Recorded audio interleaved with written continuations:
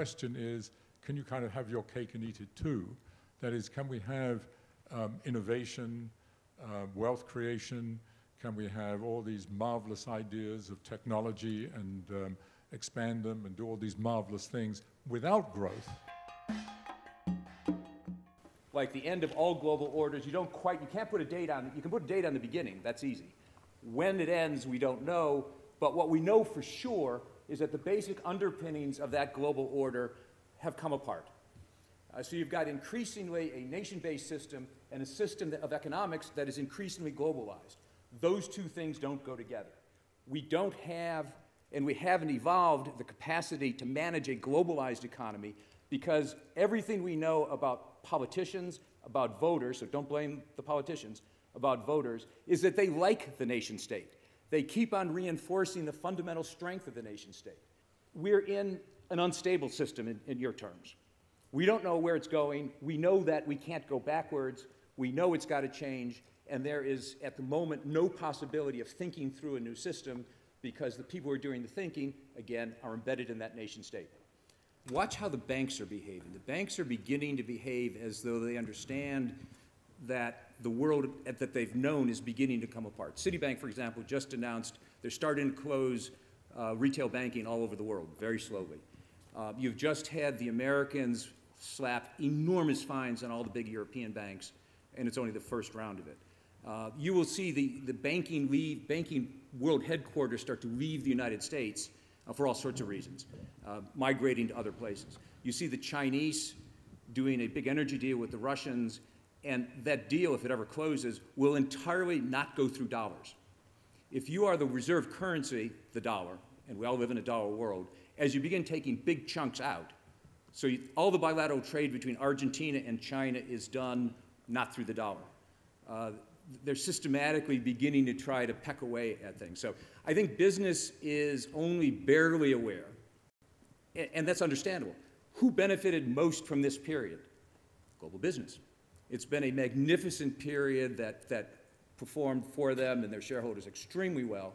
They are the most in, embedded in it, and they're the last ones to figure it out. Yes, we are living in an era of crisis. But is it different from what we've seen before? Globalization. Have we just come to realize that it's a problem? No. We knew from the very, very beginning that there was an inherent conflict between the national and the super globalized. We knew that. We knew that inevitably at some point globalization will force national democratic governments to put at risk the social advantages of their own people, something that wasn't going to happen. We knew that. Uh, we, why were we surprised about what happened in Russia with Ukraine? I don't know why. We've seen this recently. There were massive shifts in the borders in the Balkan region in the 1980s. We've seen that before. Ebola. Why are we surprised by Ebola? This is the fifth, if I'm not mistaken, outbreak of Ebola that we have seen. So, all these things, I think, we have seen before. The problem is that we are looking at them in a way which, to my mind, is very dangerous.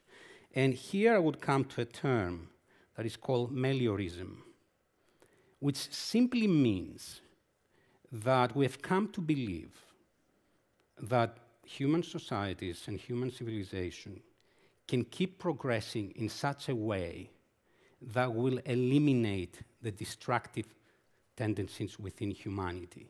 And that any problem we see is a problem of defective institutions.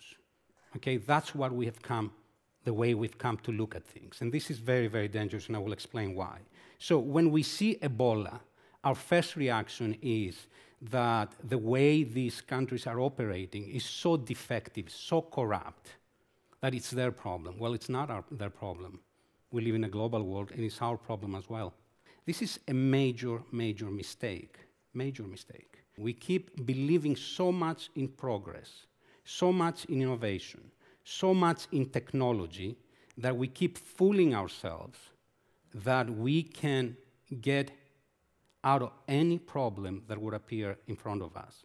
And I believe that that's a very, very big and a very dangerous fallacy. Thank you.